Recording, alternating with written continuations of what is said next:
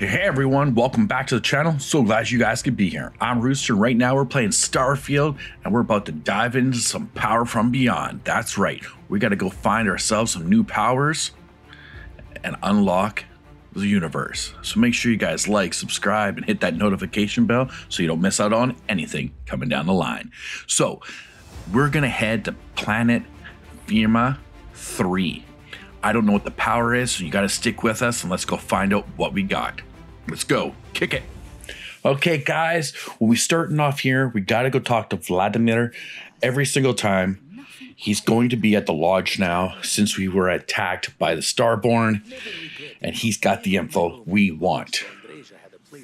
Lucky I noticed the pattern in one of those artifacts you pulled out. Sweet. Well, that's fun. Now, with that taken out of consideration, we're going to go to Fermi 3. And like I said, just click on it.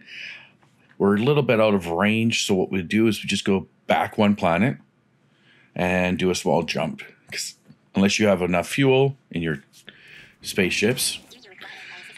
Yeah, when you get to the planet, make sure you scan it when you're coming into it to find out what's going on. This one looks like it's got a lot of stuff right nice and easy right off the landing strip. I like that. So see how our scanner kind of distorts? We're going to follow that distortion. And I love to scan things as we're going. It helps out for later on when we need to survey the whole planet. All right. So this is pretty much easy. You just grab everything as you're running by. You never know. With um, fauna Forate and resources being a six, six or eight six eight, it's not a bad planet to have a, a setup. The air seems pretty decent. Could be a good little base. Now, this is Temple Rho. So let's go inside and see what powers are being held for us. Please take your time, Mr. Lego. Open up when you get inside here, by now you guys should all know that there's going to be these little stars that all like cluster together. And as we hit them, the sound is going to start ruminating through and letting us know that we're on the right track. It's like we're hitting the different notes to find the secrets of the universe. And you got to try to stick on them quick.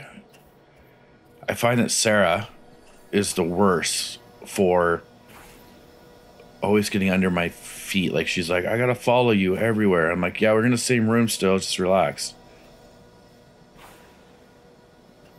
Let's get over here to this one.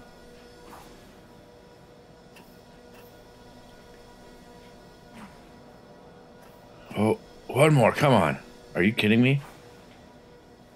And back again. It's not usually this.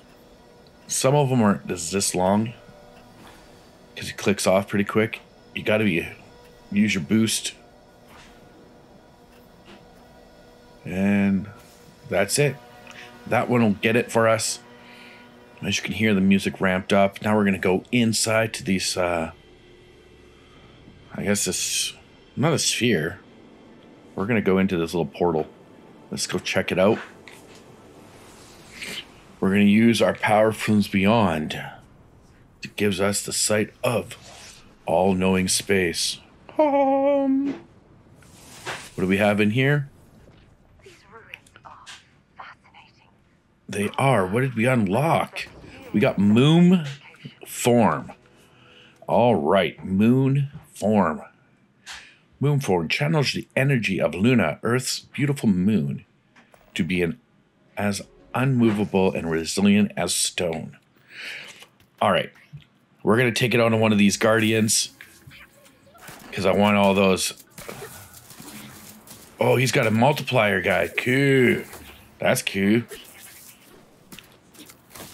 Now, using this this one, get out.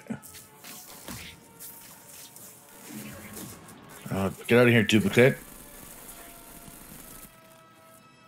I don't know how if I like the moon form it just locks, anchors you right into place. Well, that's it, guys. You got to let me know down in the comments below if Moonform is going to be your thing. It kind of anchors you and makes you pretty much like a stone. I guess that's good if you're doing hand to hand combat. It has its peaks and valleys, but we got one more down.